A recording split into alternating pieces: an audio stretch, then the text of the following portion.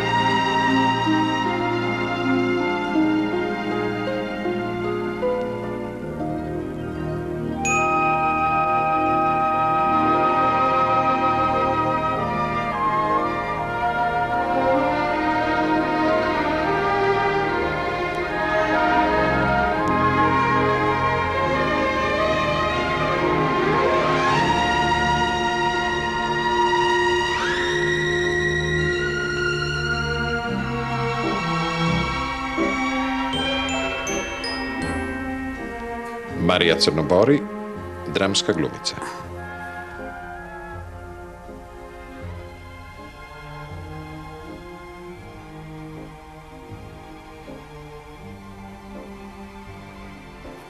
Nastupili ste veoma mnogo. Da li ste imali ikad tremu? Ja, kako ne, znate šta, svašta se glumcu može dogoditi. Svašta. Jedan put mi se jedan užas dogodio.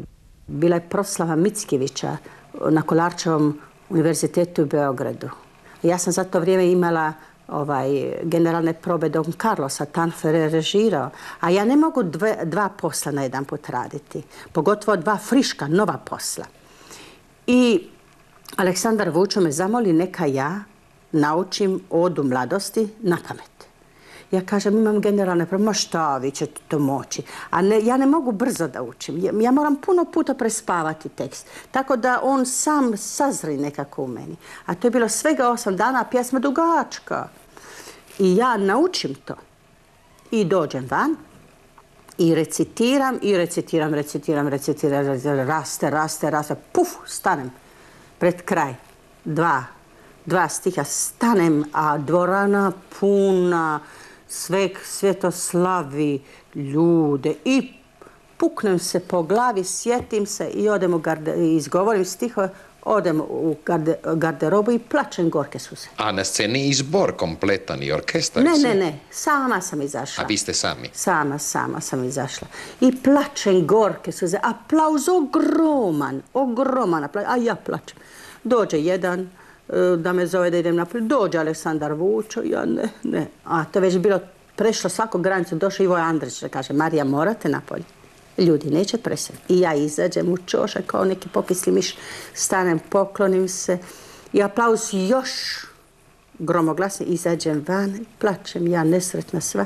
I nakon dugo, dugo vremena, to neću naravno nikako zaboraviti, to, to je kao, ne znam, nešto e, kao gromada u cijelom mom sjećanju.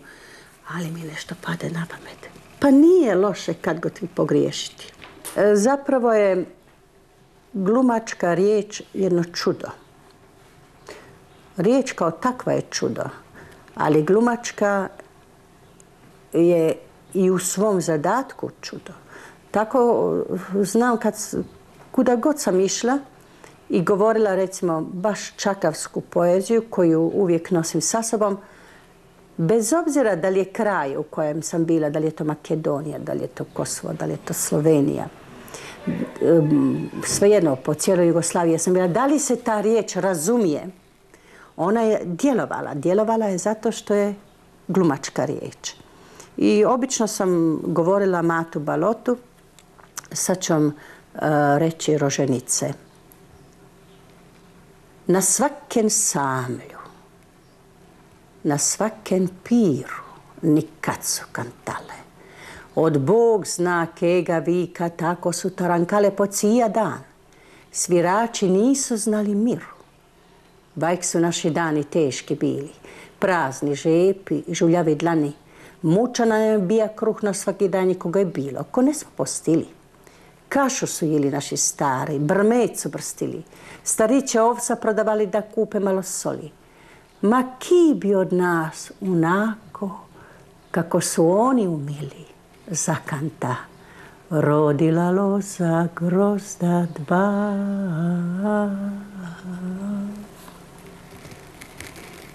Velike sopele svire već miljare lit. Krozanje govore glasi naši stari od davne davnine. Kamo god se krenemo, oni gredu s nami. Glasi crlene zemlje i krasa. Glasi domovine.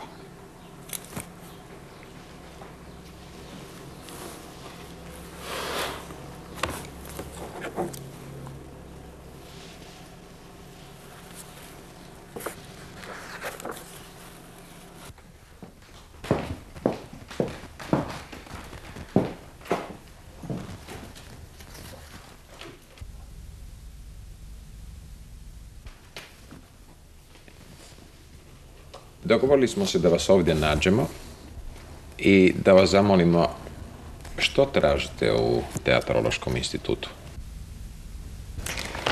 Ovo je skup e, jednog teatarskog života. To su izvaci iz e, javnih glasila koje je dr. Marko Fotes polijepio, a meni to treba zato što sam i ja bila jedna od e, prvih koji su na rijeci bili na prvoj predstavi u Dubravci, pa mi sad treba neke podatke jer treba da napišem treba da napišem e, početak riječkog kazališta za dane Hvarskog kazališta na Hvaru. Vi ste do sada napisali kako sam spremala Lauru u Krližinoj agoniji. Napisali ste Moja Antigona, spremate se napisati o tome kako ste radili Ifigeniju. Da li ovaj e, tekst je referat ili će to biti također i tiskano jednog dana? Zapravo je to divno na Hvaru što manje više primora glumca da, da zabilježi svoja sjećanja. Tako sam bila primorana da napišem kako sam e, radila Lauru. To je naravno poslije štampano. To ima već 80 e, knjiga. 8 ili 10, ne znam tačno. Knjiga gdje su svi referati tako razdoblje po razdoblje je štampano i dobio se jedan divan, prekrasan pregled kroz, kroz e, teatre. Zapravo to je tamo već vjekovima, kroz e, teatarski život kroz vjekove u našoj zemlji na našem tlu.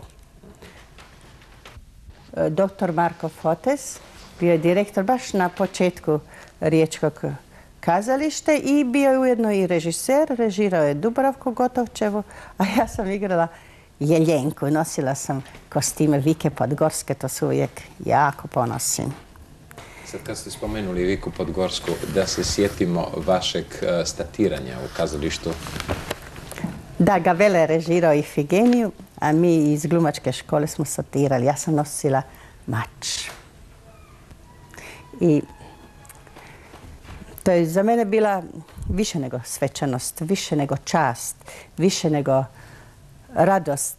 Radost pomiješana svakakvim osjećajima.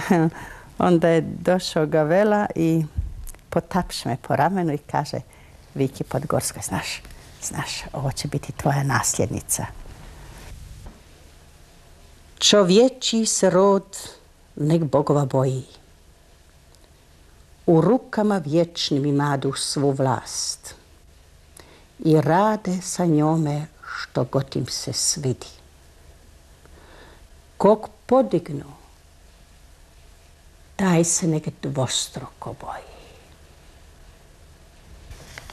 Igrala sam Ifigeniju u Dubrovniku, u Jugoslavenskom dramskom kazalištu. Godine idu, a sad se spremam da se sjetim i kako sam s Gavelom radila. Taj je veliki ženski lik. Dakle, najranije djetinstvo. Rođeni u Banjolama. Da. Davno sam se rodila, istina. Pa i nije tako davno, samo 18. 1918. Moji su roditelji bili, ovo je moj tata Petar. Ovo je moja mama, moja mama Foška. Imala španjolsku groznicu. Ja sam se rodila. Nisam se baš rodila do kraja, nego ovaj, jer sam došla na svijet samo osam mjeseci. Došla sam ranije radi te bolesti i onda su svi misli da ću ja doći mrtva. Ja sam došla na svijet i odmah sam tala kmekati. glasno, dosta glasno. I onda je mamin tata, moj djed, rekao ova će ostati, ova će živjeti. A kako je mama bila jako bolesna, onda su me e, hranile tri tete. E, Štefanija, Kata i Mara. Ja tako cijelo e, selo izrabljivala. I svaki put kad idemo u Istru, idem barem jedan puta godišnje, uvijek idem do tete Štefanije koja je eh, jedina još ostala živa. Ima već dosta godina, dosta ne smijem reći. I onda kad odlazim, ona me ovako preti prstom. Čuješ, ko ne dođeš, svaki put moraš doći. Si upantila? Jesam, teta, jesam. Doći ću, svaki put ću doći. Ja sam bila šesta. Čekajte, moj najstariji brat. Onda između toga su umrli četvoro. To znači pet. Onda ja, pa sestra, pa najmlađi brat. Otac je bio za vrijeme Austro-Ugarske strojar na brodovima, mašinista na podmornicama, drugim ratnim brodovima. I onda je morao 20. da bježi iz Istre, kao što su mnogi istrani bili pobjegli u Jugoslaviju. Najprije su išli jedni rođaci, pa su zvali druge, tako da su ti naši istrani svi znali kuda idu, komu idu i gdje će se smjestiti. Prvi put smo došli u Sisak, poslije Siska ista takva jedna grupa Istrana otišla u Novi Sad, pozvali moga oca, tamo je bila riječka flotila, opet je tata došao do brodova i opet je bio na brodovima mašinist. U, u Sisku sam prošla e, tri godine osnovne škole, onda sam u, u Novom Sadu bila četvrtu godinu osnovne škole i do male mature. Rano sam počela glumiti. Evo, na primjer, ovo je u Novom Sadu, u osnovnoj školi. Ovo je ilustracija pjesme Gore nebo visoko, dole more duboko. Onda, evo, u, u spletu narodnih nošnji. A, a evo, evo tu, tu predstavljam Jugoslaviju. Tek sam naravno već zaboravila. Iz Novog Sada je mene zapravo poslala u istarski internat moja šogorica Vera u stručnu učiteljsku školu. To je bilo 34. godine. Imali smo i svoje priredbe. Ja sam recitirala i u istarskom internatu i u školi, još kao mala. I te recitacije na Čakavskom i Istra me je pratila cijeli život. I tu smo jurili u školu, kroz niz gore, dole niz one stepenice pored Uspinjače ili kroz kamenita vrata niz Mesničku, kako kad. Tako da ja čak i sad, kad god sanjam kako trčim po Gornjem gradu, da stignem u školu. To znači da ste vi de facto svršeni šta, preparandist, učitelj? Ja sam učitelj, da, zapravo. Stručna učiteljica. Um, imam široko područje ovaj, za nastavu, ali put me onda odveo dalje. O, ne dalje, šta znam, na drugu stazu, ne može se reći dalje, na drugu stazu. Krizmanička me odvela kod Dušina. Još dok sam bila u internatu.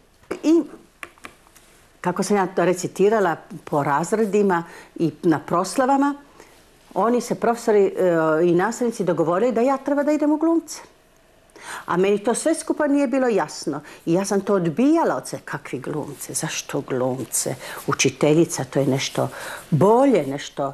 U ostalom učitelji su veliko zvanje. I ja pitam razrednicu, znate, govore da treba da idem u glumce. A ja sam njoj sve vjerovala. Ona kaže, naravno, gotovo, gotovo. Dobila sam i bila sam odlikaš inače od muke. Sve se na meni na jedan put preokreno. Od muke sam dobila nisam mogla učiti, dobila sam drugi red iz geografije, toga se sjećam kao danas. Jer nisam, ništa nisam mogla. Da kažem, kad sam prvi put došla kod Dujšina. Kako nisam imala baš onako zgodno haljenu, a mislila sam neka ja dođem u zgodnoj haljeni. Posude meni internačanka ova, haljinu i cipela. Cipele s visokom petom. Nikad nisam nosila visoko petu.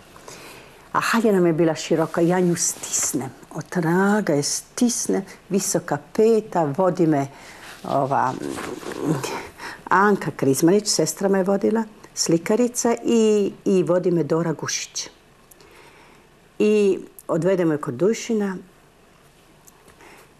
Ja ne okrećem se da se ne vidi da mi otraga na Gužvana Haljina, na Borana Haljina i sad kaže meni Dušin, počnite, šta znate? A ja stanem, niti naslova, niti pjesnika, ništa nisam znala. To se na jedan put sve ispraznilo, sve ispraznilo. On me gleda, a njemu sve to jasno. I onda mi kaže, pa počnite odakle hoćete. I ja počnem iz sredine, iz sredine počnem i onda na jedan put kažem Vladimir Nazor, pjesme Istarskog prognanika. I onda izgovorim do kraja, on me mirno sasluša i kaže da, treba nastaviti raditi. Onda sam počela dušino na časovići, završila sam ipak odličnim, peti razred, dobila diplomu, otišla kući i tajila. Ja sam zapravo kao odlikaš trebala dobiti mjesto u Zagrebu. Tajila sam kud idem, od roditelja sam tajila. I došla sam kod Krizmanićevih. Kod njih stanovala, išla na časove i onda se otvorila glumačka škola. Julije Benešić je bio intendant, otvori se glumačka škola, bio veliki sto, puno ljudi, kad se toga sjetim, sad mi dođe da padnem u nesvijest. Ja izađem i rečem i kažem samo od Langera broj 72. Dušin me to uvježbao i ja kažem bila sam osuđena. Nisu rešetke, već brava. I tako nešto malo, sad ne mogu odmah brzo da se sjetim. I ja, to kao oni kažu dosta, ja misla propala ja. A Dujšin me najprvo za šalom i poslije kaže, ja trčim kod njega, kaže, propala si. A ja sad nisam znala šta da kažem, da li hvala Bogu ili da budem žalosna, nešto mi se smutilo na jedan put, jer ja to nisam željela. On kaže, ne, ne, prošla si. I naravno ja prošla. Kad sam bila u školi, Tito Stroci je uvijek mene puštao zadnju da govorim. A ja bila žalosna, mislim, Bože, zašto baš ja zadnja? Zadnja dok su svi izgovorili. I onda sam ja onako sva napunjena i željom i onim rečenicama i onim mislima koje su po meni vrile sve to na jedan put rekla u jednom žaru. Tako da je jedan put i to stroci doveo jednog mladog čovjeka s naočalima, malo ovako talasavu kosu, bio je tanak, neka me čuje, jer je otvarao teatar u Splitu, pa da vidi glumce. One sjedu, ja sam govorila Kuginu kuću, i a Tito Stroci mi je rekao, to je doktor Marko Fotez, on e, će biti direktor Splitskog kazališta. A ja ništa, ništa. A poslije, eto, doktor Marko Fotez i ja radili 30 godina zajedno. Imamo sina, Aleksandra Foteza i on našim putem. Da se sjetimo predstave Večeras improviziramo. Oj, oj, oj. Da. Dobila sam još kao kao džak glumačke škole Gavelin. Kad sam prvi put vidjela Gavelu, stisla me grlo od respekta, od, pa ne znam šta, od straha. I sada eh, je došla, došla večeras improviziramo i ja igram pjevačicu. Ma molim vas, prvi put na pravoj velikoj sceni. Prvi put. Prvi put sa pravim velikim glumcima. Gavela režiser. I šta? Pa to je nezamislivo užas. Pjevam, a ja nemam sluha. Naučila sam, naravno da sam naučila. Ja mislim da bi i na trepavicama hodala kad bi kad bi trebala, ali koliko me muke stalo, plakala jadna i ja, naplakala se živa, a, Ančica Kernic kaže ga veli, doktore, pa nemojte malo toliko mučiti. On kaže, milostiva, radite svoj posao, ovo je najmanja muka u životu, bit će toga još i više. A sredstva za život? Pa ja nisam imala nikakvih sredstava, one su me hranile i dale su mi stan, a Julije Benešić i, Dujšin e, su se dogovarali i doktor, Klein i oni su se dogovarali i skupljali su novac za mene i uvijek mi je mjesečno i e, doktor Flegel. Flegel, Slavko Flegel i onda su oni meni, ovaj, Benešić je Boga mi. Bože, kad se sad ovako sjetim, pa to je zaista ogromno. On je meni sam mjesečno donosio u plavoj koverti 300 dinara. Znate vi kolika je ta para? I ovaj doktor Fleger mi je uvijek posebno dao. A u toj grupi je bio Dubravko Dušin, bio je i Gavela. I oni su to sve skupili i ovoj maloj su pomagali. Svi su se nekako brinuli za mene, ali to je bilo sve tako nekako čudno, nenapadno. Tako da sam ja de facto u samom početku došla u ulicu koja, koja je, koju svako želi i koja je prava atmosfera za odgajanje jedno, jedne mlade biljke. I pomagali su mi da uočim stvari. I čitali su mi knjige u Demetrovoj pet je stanovao Lato Mihalović. Poslije sam ja kod njega stanovala. Kod njega je stanovala Zlata Šulc. Ona mi je prevodila Stanislavskog s njemačkog. Na spratu je, u mansardi je stanovao moj bratić Josip Crnobori. Tamo sam i Tartalju upoznala. Kod Krizmaniće, Krizmanićevi sam upoznala i Šulentića. I tako na, jedan put sam došla, vodili su me na koncerte, na izložbe. Poznavali ste Gorana Kovačića, Nazora? To je posle, posle već pod kraj glumačke škole. Dolazili su k meni u moju mansardu, jer sam se bila preselila najpre u, u, u Visoku ulicu. Tu su dolazili Goran Kovačić i Dobriša Cesarić, Vjekoslav Kaleb. Pa bi čitali, sjeli bi na pod, pa bi čitali, ja bi slušala. Sa Goranom sam išla i kod Nazora i kod Benešića. Tako da je to bilo jedno ovako, kako, ovako, znate, kad ovako mislim, na jedan put mi se učini opet kažem, na jedan put mi se učini san. Na jedan put mi se učini, da li je to sve tako? Jeste, tako je, tako je. Tako je, baš tako je. I sve to, sve me to ovako nekako zajedno e, vodilo, guralo i ja na jedan put, evo tu sam, sjedam kosom i pričam vam, jel da? Ali to je samo na jedan put prošlo, a unutra je bilo mnogo divnih, divnih, lijepih stvari.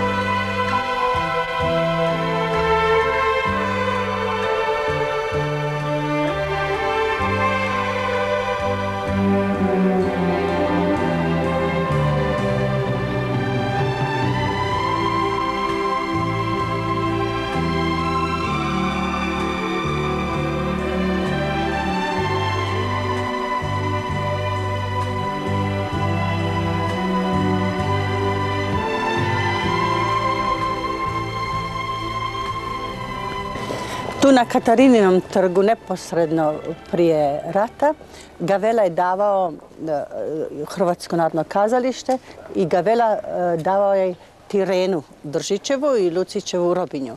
Ja sam bila uskočila u ulogu Tirene i sjećam se, šminkala sam se tamo u, u gimnaziji i tako sam se grozno našminkala, došla je Gavela da me vidi kako izgleda i kad je vidio na što ličim, svu smo me zbrisali i ponovo napisali. Onda sam izašla van na, pozornicu i onda je Gavela gledao kako ja to sad djelujem i kako ja to izgledam i igrala sam.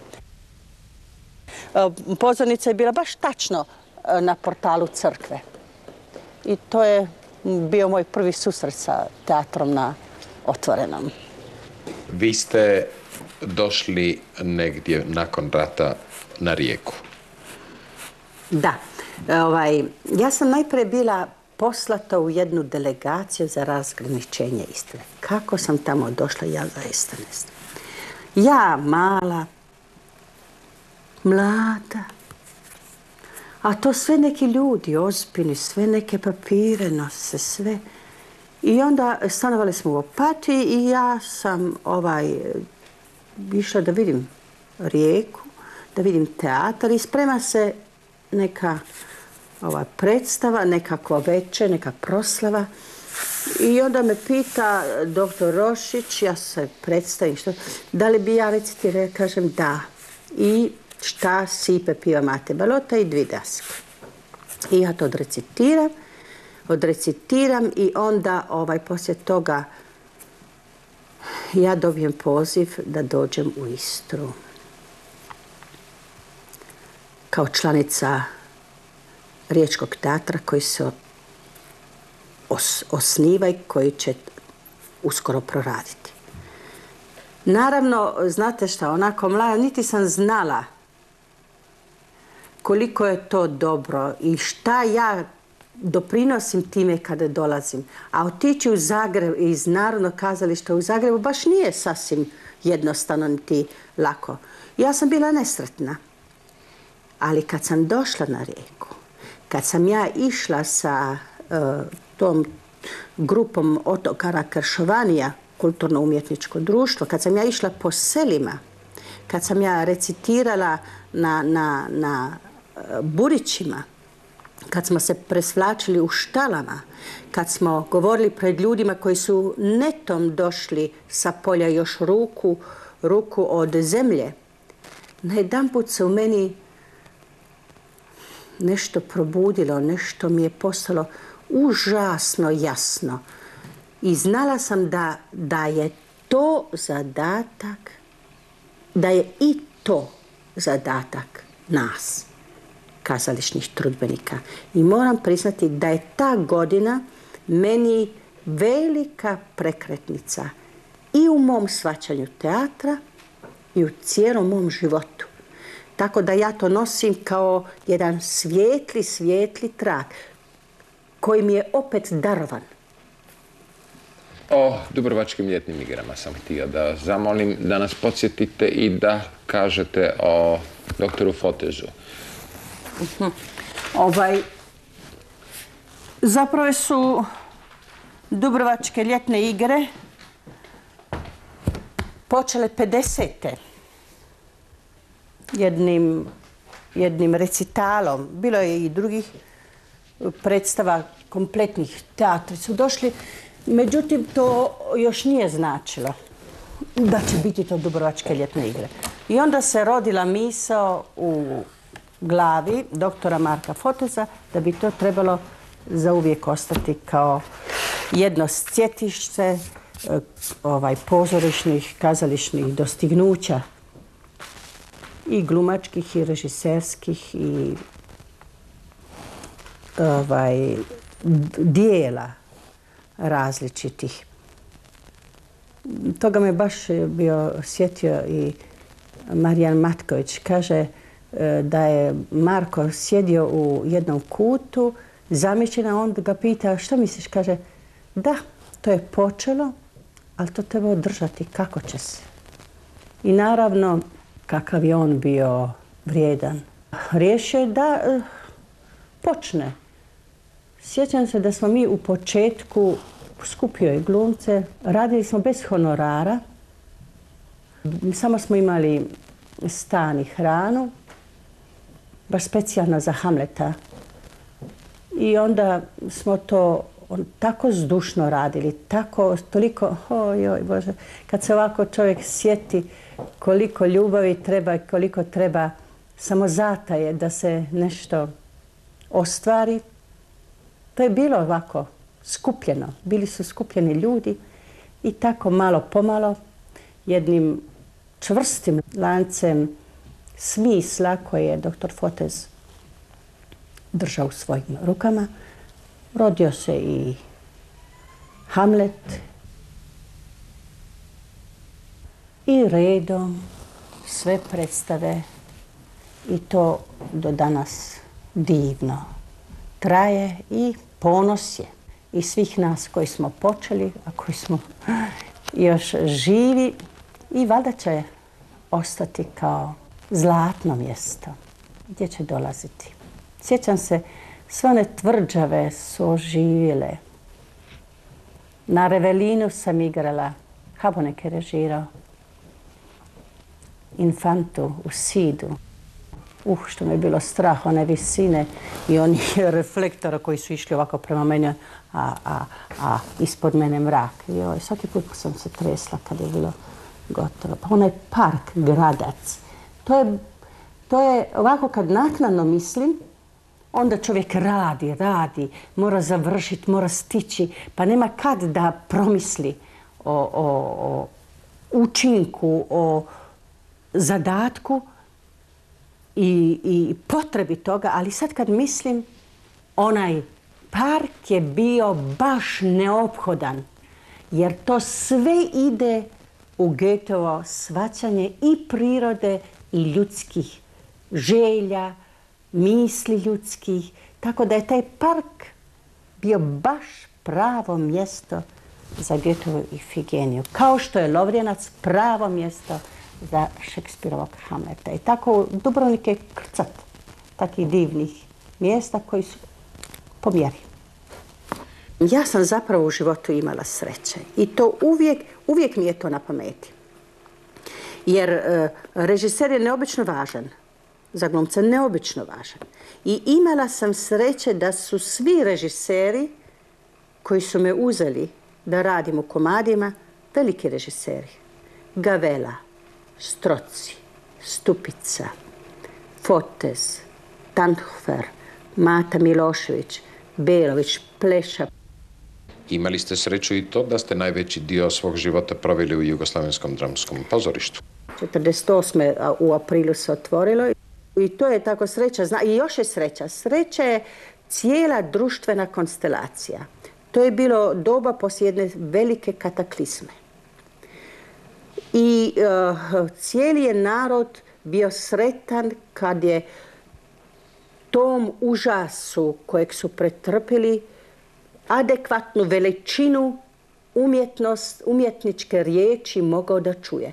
Tako da je onda ljudima željnim ljepote i veličine neobično prijao i Sofokle, i Rasin, i Goethe, i Krleža, i Shaw, i Šekspir. To je onda bilo veselje. Moj me glumački poziv eh, doveo i u blizinu Tita. Povodom predstave iza zatvorenih vrata u ateljeu 212 posjetio nas je Jean-Paul Sartre. A film je, eto vidite, eh, Pogačićev nevjera, doveo me čak u Indiju.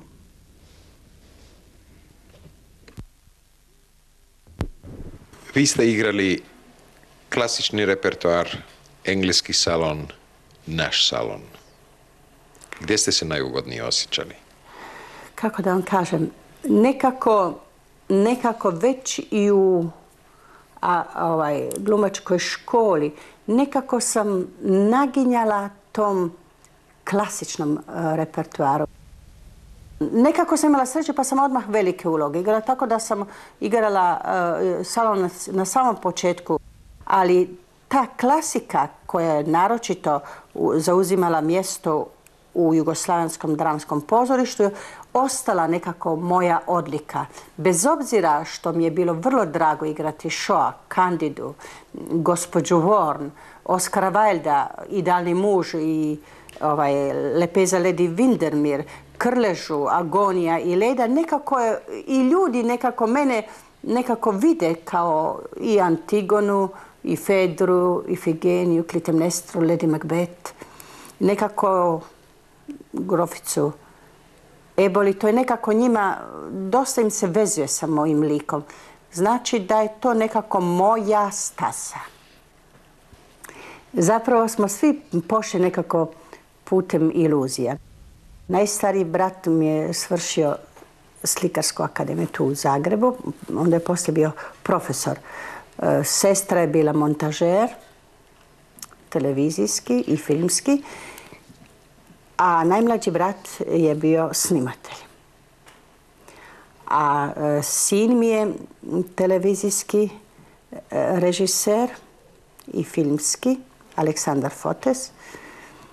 I ovako kad sve mislim, dobro je živjeti u takvoj jednoj sredini, jer kad ti nešto kaže, to je istina. Primjer, poslije generalne probe e, došli bi kući Marko i Saša, sjedimo za stolom, oni su me naravno e, gledali i onda počme dobro, dobra kritika onoga što sam ja uradila. Nekad su me tako da sam ja od muke možda čak, hm, ne znam, došla mi da idem pod sto i da plačem. Znali su dobro gledati, a dobro u životu imati tako nekakve kritičare, onako oštre. Kako je moguće, imam osjećaj da vi pamtite gotovo sve svoje uloge. Recimo, Moram. Dobro, ali prošla su vremena. Prošlo je puno vremena. Recimo Krležu, ja sam uvjeren, Lauru doznate i dan danas. E, znate, Lauru specijalno, ja nosim vam kroz život. Nosim Antigonu, nosim Fedor, nosim Ifigenu. Neke uloge nosite skroz i u situacijama vi njih govorite. Zato je ona, recimo sad i ovog trenutka manje više prisutna. I zato sam valjda i pisala o njoj. I zato e, ću valjda još o tim ulogama nešto malo. Jer one, one su tu, saputnice moje. Mogu li vas zamoliti, ako se sjećate, da nam kažete onaj dio iz razgovora sa Križovcem o mm. Holandskom kvartetu i ulaznicama, mm. da.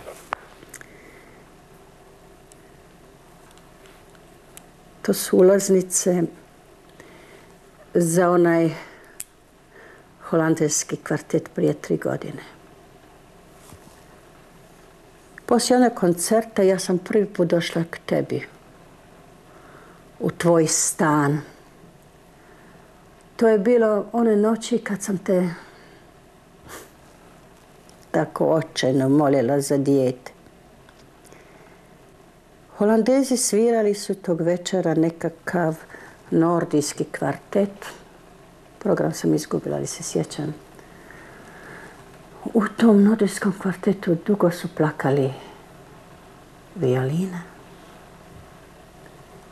i čelo. Imao čovječi glas, a violina je plakala kao žena. Ta su se dva motiva tražila. Dugo su se tražila u svilenom tremolu kantilene. Kako je e, Laura ovako zgusnuta, kondenzirana, kako tu unutra ima užasno puno nijansa. To je za glumicu jedan veliki lajstom. To je to ogromna koncentracija i čak i fizička snaga treba. Čak, mislim, to treba jednostavno izdržati. I onda svaki put kad bi se ustrijelila i pala mrtva pored pisaćeg stola, uvijek sam u sebi pomislila, o hvala Bogu, gotovo je. Vi ćete nastaviti dalje pisati svoje uspomene? Slova ostaju, pisana riječ ostaju, pa ostaće. Ostaće ovo što prođe, što mi radimo, ode, ode. Ne, ne, ne, ne ode ništa. Ostaje to, ostaje. To se negdje taloži ili na generacije koje onda to vuku ne znajući ni zapravo nisu svjesni šta od koga, šta su od koga dobili. Da završimo krajem iz šove Kandide u kojoj Kandida na kraju se odlučuje između Međbanksa i svog vlastitog muža Pastora. Da. I odlučuje se definitivno za svog supruga. Međbanks odlazi, a ona ga na kraju pita koliko vam je godina? On odgovara 19. Da. A ona kaže, a ja imam 35. A na to on stane i kaže, a za stotinu godina... Bićemo podjednako stari. Tako je to. Tako je to, pa da.